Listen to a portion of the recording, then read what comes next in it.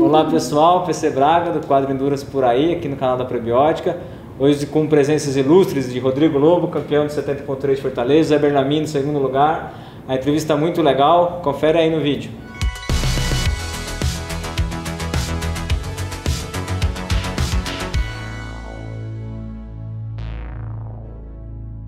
Hoje com uma presença ilustre, campeão e vice-campeão do Ironman Fortaleza 70.3, Rodrigo Lobo, Zé Berlamino, sejam muito bem-vindos. Obrigado, PC. Muito obrigado. Uma honra estar aqui com É, você. hein? a honra é toda minha. Você tá vendo que eles estão bronzeados porque teve sol, parece, hoje aí, né? É que eu fui na praia depois da prova. Ah. Pra dar uma arrumada no bronzeado aqui. Eles acabaram tão rápido que nem deu tempo de pegar um bronze. Quando eu encontrei eles na saída da prova, eu falei, e aí, como é que tá a, a bike? Já pegou? Ele falou, não, já tá no malabike já arrumada. Mas, Lobo, Berlamino, parabéns, em primeiro lugar. Vocês têm um histórico legal aqui em Fortaleza, né? Já é cidadão cearense, já, honorário, não? Falar que o cara aqui é rei, cara. Ah, Eu costumo falar que aqui é uma cidade que para mim traz bons fluidos, assim, né? Desde 2016, quando eu fiz o full, e foi logo depois de Kona e acabei ganhando. Então, foi muito legal. E aí 2017 também, né, que foi bacana, a gente fez dobradinha, 2018 dobradinha e agora dobradinha. Como que é o dia seguinte no trabalho? Vocês que trabalham juntos, você fica, fica um clima tenso, assim? Vou falar que o pior é antes, do- a semana antes. A sema- É que é uma provocação de um lado pro outro. Mas não ali. tem boicote de treino um do outro, assim. né? Às vezes eu né, tenho no escritório, a gente compartilha ali a geladeira, dá pra colocar um, lax- laxante. Deleta a planilha do outro ali no computador.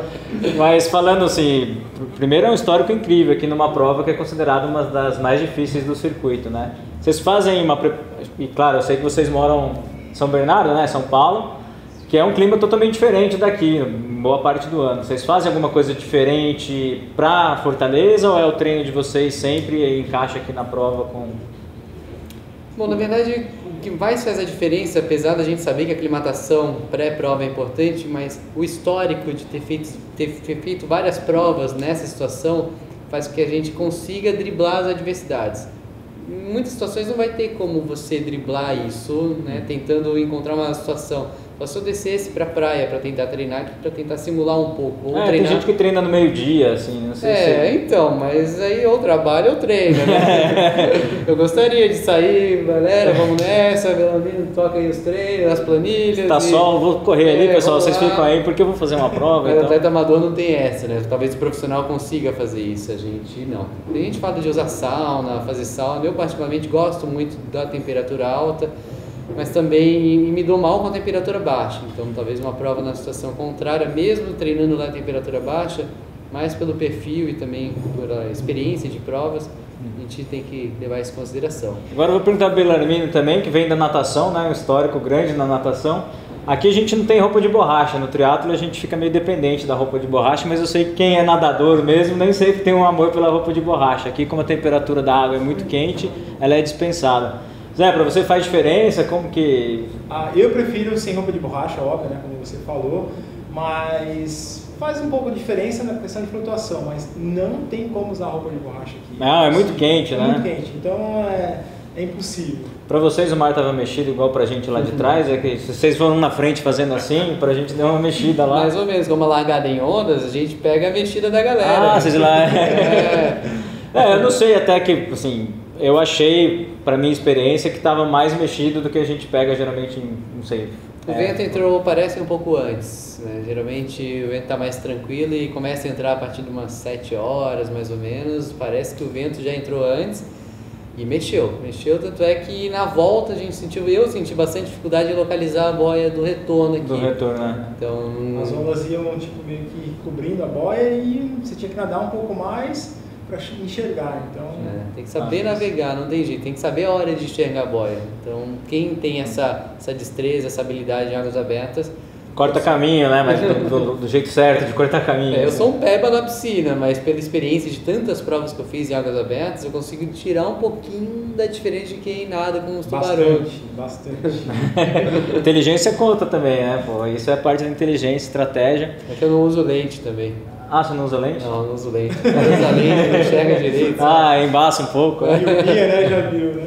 Eu, se fosse sem óculos, eu ia parar lá, acho que, não sei se é Saingana, aqui, ou Guiné-Bissau, que fica na reta aqui de Fortaleza.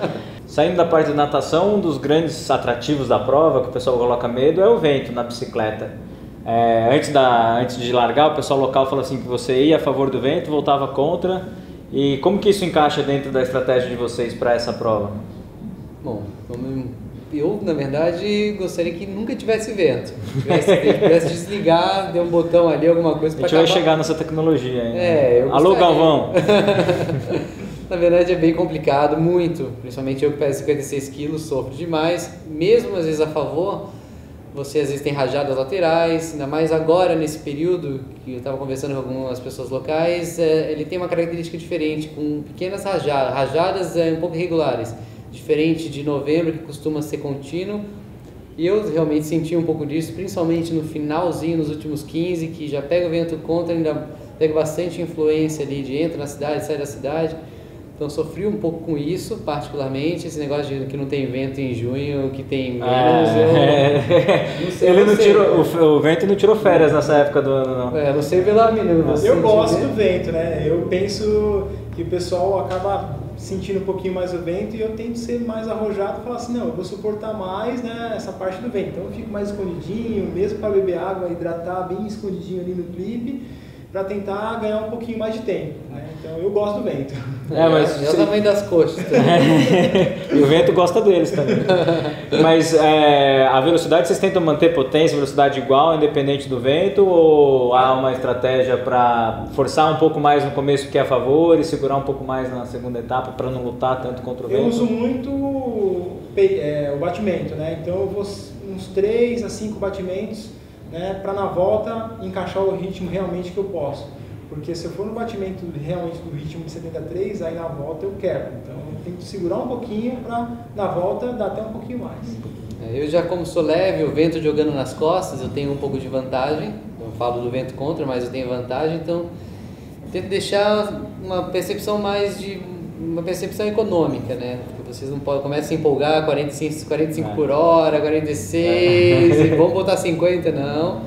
Mas eu tento tirar um pouco de vantagem a favor, tirar um pouquinho o pé no final do retorno para né? Porque o grande susto é quando vira e já vem o vento já na, é. joga E, e ele faz a curva o vento mesmo, né? Você é. vira e já começa, fala, realmente, cheguei na parte que tanto falaram. São, é uma volta só, né? Você vai 45, volta 45. Vocês preferem assim ou vocês gostam de ficar girando em circuito para dividir mais a prova ou tanto faz? Depende do dia.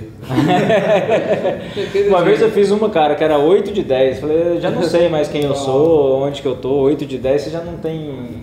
Acho que assim fica uma prova legal, né? Espalha um pouco mais, né? E acaba com o problema de vácuo, enfim. Acho que fica uma prova bem limpa. É. Agora vamos falar na corrida. Eu passava por vocês e estavam correndo bonito lá.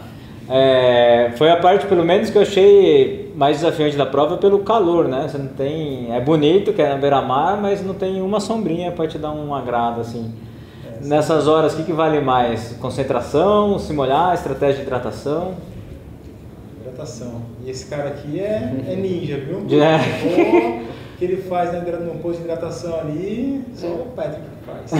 É o Patrick Lange brasileiro. Hoje eu ouvi essa é, expressão é, sobre Rodrigo Lobo. Eu, faz jus ao apelido? Não, mais ou menos. Na verdade, é assim, a gente tem que saber que o calor ele vai derrubar. Então, até pela experiência que tem já de tantas provas e fazer uma prova crescente no calor vale a pena. Né? Você vê a galera já torcendo o cabo no pedal, os primeiros 10k de corrida já começa a cair ritmo, já começa a faltar energia, faltar hidratação. Então a estratégia de hidratação na própria bike é importante, ela que também determina como que vai ser o seu nível de hidratação para começar a correr. Então mesmo que você tenha ali essas caramanholas, sempre é bom pegar algumas caramanholas extras ali no ponto de hidratação da bike, torra na cabeça, torra no, torra, bebe mesmo, não tem jeito, às vezes mesmo que você não precise, tome mesmo, porque depois você sai para correr, já no estado legal de hidratação, isso é importante, principalmente na reta final. E sempre eu gosto de correr com dois copinhos ou duas garrafinhas na mão. Você vai colocando, vai. Não. Tem provas que eles, que nem no Havaí, eles dão aberto o copo, é ruim. Então, Ah, tanto é que um é, dia, guardar, né? até o Frodeio pediu a garrafa, ele pode, a gente não ia conseguir pedir, né? Mas aqui é, eles dão em copinho fechado, então eu gosto particularmente de torrar pelo menos uns quatro. Eu sei que eu falei com o Galvão lá, ele falou que tem para todo mundo, então É. só pega o sem dó mesmo. Mas manter É, foi uma uma- coisa para se elogiar. Desculpe te interromper na prova hoje, porque a logística do gelo, quem vai lá no final consegue reparar nessas coisas. Sabe? A logística do gelo aqui não era fácil, as coisas esquentam rápido né, numa prova quente. E conseguiram manter tudo gelado, tomavam uns banhos de gelo lá também. Isso é, é um elogio, porque eu sei que muita prova a gente já fez que É você vai tomar um negócio Os quente é últimos- ruim, né? É, os primeiros sempre pegam água fresca ali, os últimos já vão Ah, é. sofrendo um pouquinho e essa realmente, ainda mais se dá várias voltas, tá ok, deu pra manter o corpo refrigerado. E uma coisa legal, assim, até voltando no assunto de, de pace, né, de frequência, é, numa prova dessa, como é muito quente, não tem como você querer fazer o pace que você faz, de repente, uma prova igual Floripa. Né? Você olha o pace e fala, meu, eu tô 10 segundos, 12 segundos acima do meu pace, relaxa, é fortaleza. Né? Então, calma, refrigera seu corpo, hidrata bem e segue o jogo. Porque no final, se você negligenciar o seu pace ali, a hidratação vai pagar. A conta vem, né? É, Vem. é. E vocês que já tiveram em Kona e a, e a Fortaleza tem essas características, como que vocês comparam as duas provas é, termos climáticos, digamos assim? Olha, vou falar que é bem parecido, viu? É mesmo? É que óbvio que né, no Havaí você tem, por ser full, né? Eu, eu não fiz o full aqui, ele fez. Então a sensação deve ser bem parecida. O 73 ainda está numa situação fisiológica limítrofe ali, né? De 4 horas, até quem vai fazer 5 ou mais. Agora, quando você passa aí de 8 para cima, 9, 10, aí. Mas Eu, eu imagino que né, deve, ter, deve ser bem parecido. É, a questão do vento é com as rajadas, né? As ra- rajadas laterais são muito fortes, então. E aqui não tem tanto, acho que é a única Uhum. diferença, mas o nível de calor é muito parecido, muito É. parecido mesmo. Tanto é que quando uma vez eu pensei, eu vou parar de pedalar. Porque não tava na volta, falei, tem mais 40 km, 50, não tô conseguindo sair do lugar, vou entregar a bike aqui, o problema era sair voando. Tinha que Ah, tchê, Você foi, ficou mais para guardar a bike, ela não voar. É, mas aqui não é tão forte, mas ele é chato. É. Quando eu fiz 2016, é, foi engraçado, porque eu saí, entreguei a bike, ok, aí saí bem hidratado, de- demorei um tempinho na transição, saí bem hidratado, corri 500 metros e eu falei, ferrou. Só daqui a 2 km o posto de hidratação, né? Um K e meio? Hum, não sei não. Aí eu fui trabalhando a mente ali, né? Tá, tá, vai chegar. Ainda bem que tinha um K e meio e tinha um posto de hidratação. Foi a sorte. Mas eu só fui começar realmente a soltar as pernas, mesmo de verdade, depois dos 10, porque no começo A aclimatação, é. muito quente, muito quente. Ô Zé, quem fez o full aqui, você foi um deles, o pessoal fala com saudade, assim, né? A primeira pessoa diz que faz um Ironman, se ela faz Fortaleza, ela faz fiz Ironman e Fortaleza, assim. É, Frisa, é um né? plus, assim, não basta ter feito Ironman. É, era especial mesmo, assim, as condições, é, as condições deixam a prova mais especial, o fato de ser calor, de ser vento. Sim, é tanto o pessoal fala que era minicona, né? Mas realmente era muito especial, porque tinha tudo, né? Tinha vento, tinha calor na bike, a corrida muito quente. E o que salvava, por incrível que pareça, os prédios são muito altos aqui. Então, quando começava né, o sol descer, os prédios cobriam bastante, então salvava um pouco. Ah, a gente não pegou essa sombra hoje. né? É, não então. tinha sombra, era desesperador. Depois do assim. meio-dia o sol Era só aquela sombra do poste, do, uma, uma- alguém que estava parado fazia a sombra, assim. E tinha aluno também hoje da assessoria aí, não? Tinha, Sim, tinha. sim. Na verdade, a prova, né, dessa vez, um pouco menos inscritos até pelo calendário, mas foi bem bacana que a gente gosta de estar também presente nos eventos, não só para fazer, mas para acompanhar a galera. Vocês dão bronca assim no meio da prova? Corre mais, ou, Não dá tá bronca, vendo? Não mas- fez a planilha que eu mandei, ou, parabéns. Mas, o coração aperta, porque às vezes você vê algum atleta que está com uma expressão ruim, ou de repente está andando naquele trecho e você não sabe exatamente o que aconteceu.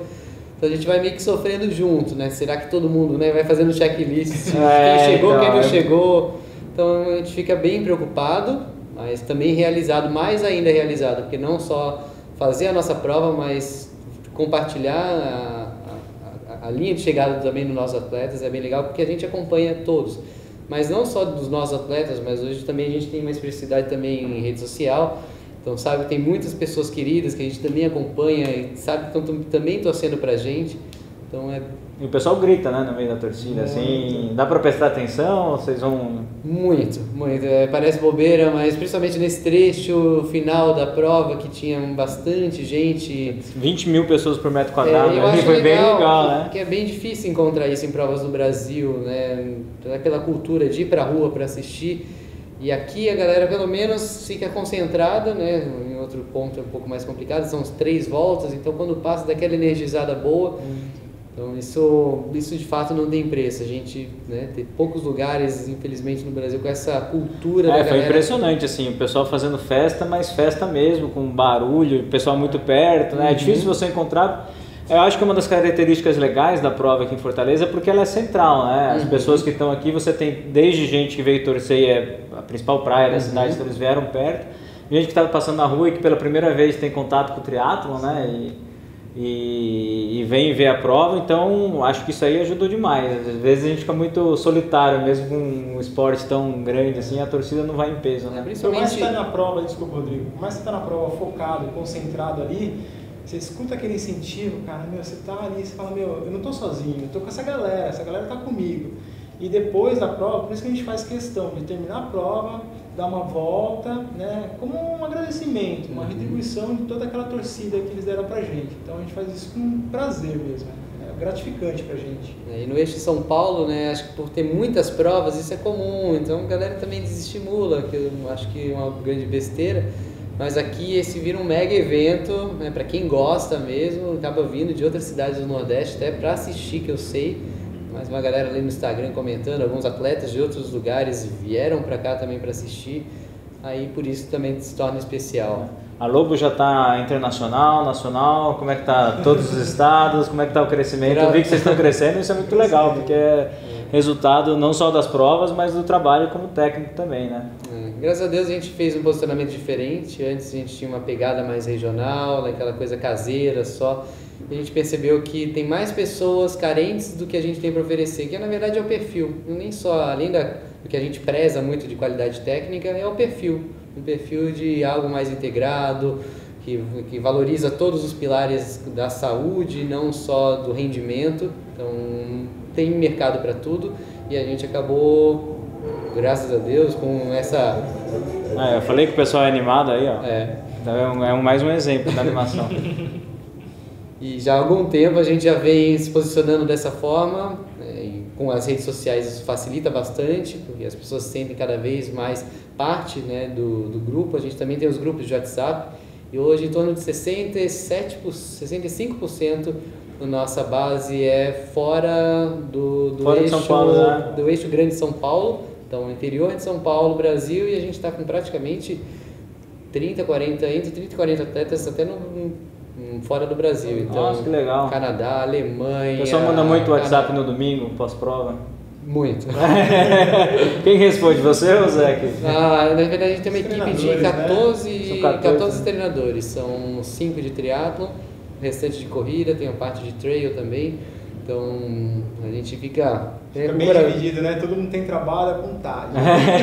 e uma, uma vitória como essa, assim, como que é a repercussão? Vem mais gente procurar? Acho que faz bem para assessoria, imagino, né? Assim, o nome da Lobo divulgado de, da melhor maneira possível. A gente nem pensa muito em ganhar e ter retorno necessariamente de atleta. A gente nem pensa e visa muito isso. Uhum. Isso acaba sendo uma consequência.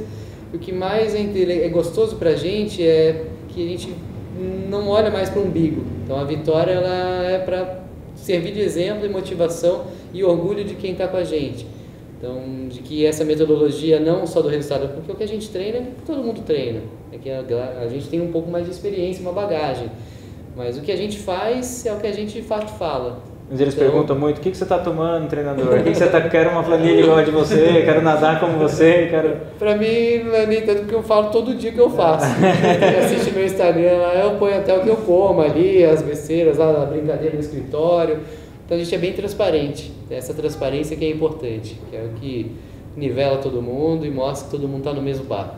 E agora uma pergunta, muita gente fala que às vezes o triatlo está em crise, mas o que a gente mais vê é a gente procurando o esporte pela primeira vez, né? Como vocês têm visto esse movimento? Tem o pessoal da corrida tem migrado, o pessoal já vem querendo fazer triatlo?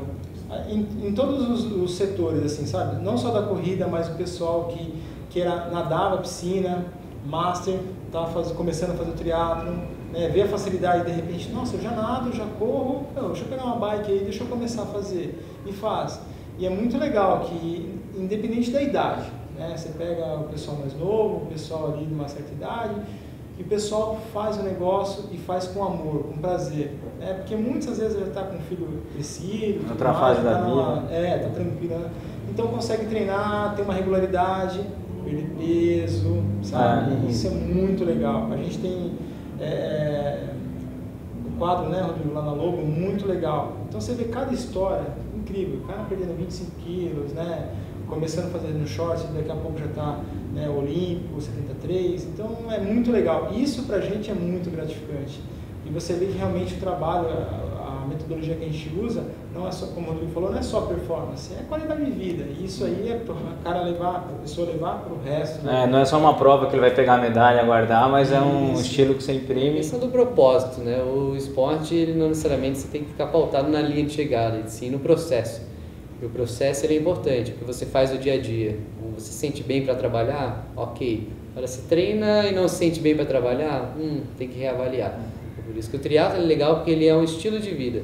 Né? Porque você tem que ter um pouco mais de disciplina, porque tem que mesclar quatro modalidades, três e mais o treino de força. E então é complicado, né? O triatlo para quem vai entrar, você pode escolher distâncias menores, mas as distâncias maiores, quando você encara, aí você tem que pensar bem se está preparado ou não. Uma vez a gente até conversou disso, né? A pessoa vem e fala assim, eu quero fazer o Ironman, sendo que ainda não fez nada, como que é? Vocês dão uma... O que, que vocês aconselham? Chegar lá e falar, olha, eu vi na TV hoje, estava vendo aqui a televisão de Fortaleza, vi que teve um Ironman, eu quero fazer esse Ironman. Uhum. O que, que, é a primeira coisa que vocês falam para quem chega, para quem está ouvindo aí quer fazer também? Conselho de quem entende. Na verdade, o Iron ele tem um apelo né, de ser uma prova desafiadora, de longa distância, a mídia fala muito, isso é bacana, também promove o esporte, mas a gente tem que tomar cuidado porque né, tem que entender se quer fazer o Ironman ou quer fazer o esporte né, e, e vai ser um caminho até chegar no Iron. Então, de maneira mais saudável, pensando em questão física, saúde, é muito importante passar pelas etapas e também tem que entender se o Iron é aquilo que você quer mesmo para sua vida, né? Se quer realmente cruzar a linha de chegada no Ironman, se ele é tão importante assim, ou é simples fato de você superar um desafio. Então, de fato, o Iron a gente acaba sempre óbvio, quando uma, um atleta chega para a gente com essa meta, uhum. a gente já, em muitos casos, teve muito sucesso em desestimular a, a ida direto para um Iron Full, começar no caso do um 3D, que são as distâncias menores, o olímpico, o sprint, depois migrar. Aí a longevidade é mais garantida. É mais garantida. E o nosso histórico, né, Rodrigo, lá na, na assessoria, né, acho que de outras assessorias também, ele quer fazer o Iron, ele faz o Iron, depois ele vende a bicicleta. É, o pessoal fala que no Mercado Livre no dia seguinte pois do é. Iron tem bicicleta à vontade. Quando você, aliás, quem quiser comprar coisas para Ironman, espera passar o Ironman, entra no Mercado Livre que vocês. e a gente falando de outra distância, vocês dois são atletas com que têm resultados ótimos em distâncias diversas, né? Desde o Olímpico, que é uma de mais explosão, até, até no 70.3, full. Vocês planejam a temporada já visando a prova ou vocês estão sempre com o machado afiado? Venha o que vier, vocês estão preparados aí? Ah, a gente gosta de começar ali, né? Com as provinhas de corrida, de rua, depois a gente coloca um sprint ou olímpico, dependendo do calendário, para ficar um pouco mais rápido, um pouco mais técnico, e aí depois a gente começa já a pensar no 73. Tá, é que hoje, né? Eu adoro full, mas hoje, né, com a minha família, eu optei por de repente ficar no 73. Então, para mim tá bom, tá ótimo. Mas dá umas pauladinhas no começo. a gente tem que estar sempre afiado, não tem jeito. E como eu falei, o histórico de você ter. Eu, um dia fiz umas contagens de medalhas, eu inclusive até perdi a conta de novo, porque eu. Eu tenho que sempre recontar. É assim que é bom. E de provas menores, né? Eu comecei em 2002, até numa prova no Internacional de Santos. Já comecei no Olímpico, comecei até meio precoce. Você veio da corrida não, Lobo? Na verdade, eu vim de nada. Ah, de nada, é. Vim de nada. Eu sou, como todo mundo fala que triatleta é pato, que não faz os três bem O feitos. Zé veio de nada também, mas de nadar. né? Natação, Nossa, Eu é tentei piada nadar- ruim, depois a gente tentei na- corta essa. Eu tentei nadar em piscina, descobri que eu não levava jeito pra coisa, pelo meu estilo, meu, meu biotipo, talvez para longas distâncias, por isso que acabei indo para travessia começando a me destacar um pouco, ainda mais pela questão técnica, porque em águas abertas também tem a questão técnica e tática bem importante. Depois, aí a corrida, na verdade comecei para emagrecer, e eu descobri que a corrida emagrecia mais, então comecei a correr mais, inclusive fiz maratona precocemente, nem a recomendo com 17 anos, Ah, acho que nem pode hoje em dia. Hoje, não, a partir de 15. Quer dizer, não, não, tem maratona que só é 18. Só 18 anos, é, né? Dependendo da prova, ser homologada. tem coisa que é só para maior que é bom. Maratona é uma delas. É só depois de 18 anos que você pode fazer. Exato. Então eu acabei me destacando na corrida e depois da corrida acabei juntando tudo e deu um caldinho mais ou menos ali. E vocês dois têm técnicas muito boas, né? Tanto de corrida e de natação. É, qual é a porcentagem que vocês dedicam para a técnica de vocês, além dos treinos? Eu sei que, pelo que eu acompanho do Instagram, é uma preocupação grande da Lobo, assim, que vocês se dedicam. Acho que na, talvez a natação seja o mais técnico dos três esportes, ou... É é o mais difícil para de repente a gente conseguir dar o suporte. Porque como é distância, é, você passa a planilha, a gente tem vídeos, mas não consegue atingir realmente ali no tete a tete com o aluno, né? Então, a gente até costuma falar, você tem algum professor ali na sua cidade? Tem, ok, faça aula com ele. Que ele vai ver os pontos a serem melhorados e ele vai aplicar os educativos específicos para os seus pontos. Então fica mais rápido, né? Você evolui melhor. Né? Mas na, na bike é, a gente tenta passar essa parte mais técnica realmente, mas é, é- é sempre realmente buscando uma, uma regularidade e uma consistência a longo prazo, né? Não adianta o cara chegar, puta, eu quero, sei lá, andar 40 por hora daqui a três meses. Vocês fazem isso? o pessoal quer resultados rápidos É, hoje, então, hoje. A gente gosta muito da parte técnica. E já, tere, já, já tivemos ou vamos ver um revezamento lobo com o Zé nadando, você correndo? Escolhe alguém na bicicleta aí. Se vocês tivessem que escolher um ídolo de vocês no esporte, quem que vocês iam colocar na bicicleta? Olha, Boa pergunta, hein? boa pergunta. Eu posso ir de moto para poder manter o mesmo nível de qualidade, assim. Eu pego uma mobiletinha, mas acho que mobilete nem chega na velocidade que esse pessoal pedala. Gostei dessa ideia, a gente não tinha pensado nisso. É, É, mas, pô, a vocês- gente tem atletas ali que nadam bem também, né? De repente você corre, eu pedalo. É que ele fala que nada bem, mas ele gosta de pedalar. esse Ah, cara. isso que eu ia perguntar, é isso que eu tô vendo aí, porque Você a gente sempre o Zé como grande Não, nadador. você mas- percebeu? Quero não, quero Eu não gosto de pedalar. Mas se eu tivesse que escolher o revezamento, você ia escolher pedalar. Sim, sim. E você, Lobo, imagino. Ah, só correr. Na verdade, quando comentaram que hoje na prova poderia até mudar um pouco o percurso, tirar um pouco da distância, porque eles estavam finalizando os ajustes ali da pista, falei, ok, aprovado, pode virar uma prova de mil nadando, É. 50 pedalando e 30 correndo. Uma vez encontrei uma amiga na meia maratona, eu falei, cara, é ótimo no 70.3 que não tem que nadar e pedalar antes, assim, eu adoro, que é só corrida. Ela falou, não, mas é meia maratona. Eu falei, é, mas podia ser assim, você só, só corre, assim, já... Mas o desafio é justamente esse, né? Você conseguir fazer as três modalidades. E parabéns, porque vocês fazem mais rápido que todo mundo e merecidamente, como vimos, é um trabalho de longo prazo. Um trabalho não só que vocês não estão sozinhos, né? Vocês fazem, trazem toda a assessoria, todos os alunos com vocês. Eu acho que isso é muito importante para vocês não chegam sozinhos em cima do pódio, né? Sem dúvida. Família, amigos, os atletas junto com a gente, os seguidores, todos os colegas, vocês todos, na verdade, é uma grande comunidade, uma grande família do triatlo. E é bom que essas provas com mais frequência vão unindo mais o público. Antes tinha menos provas, então as pessoas se encontravam menos. Agora tem mais circuitos, circuitos menores como o 3Day. Então é legal, um aprende com o outro, troca de experiência, isso é fundamental, aumenta a longevidade, aumenta o prazer por fazer isso e não só foco no resultado. Mas lembre que tem muitos bons amadores aí que É. dão, muito, dão muito trabalho pra gente, na verdade, é bom, porque tira a gente da zona de conforto. Mas segue os dois aí, para quem não conhece, vou deixar o Instagram da Lobo Assessoria, Rodrigo Lobo, Zé Berlamino. Tem dica de pós-prova em Fortaleza para a gente encerrar a entrevista, não? Eu não sei, sei que eu já dei uma caída no mar pra dar relaxada. Você mano. falar forró. Zé, você também, o que você faz? Tô sabendo que você vai numa festa aí. Ah, é, vamos cortar. Gente, muito obrigado. Parabéns aos dois. Não deixe de se inscrever no canal, comenta aí se tiver alguma dúvida, pode mandar na assessoria também, né? Quem quiser conhecer.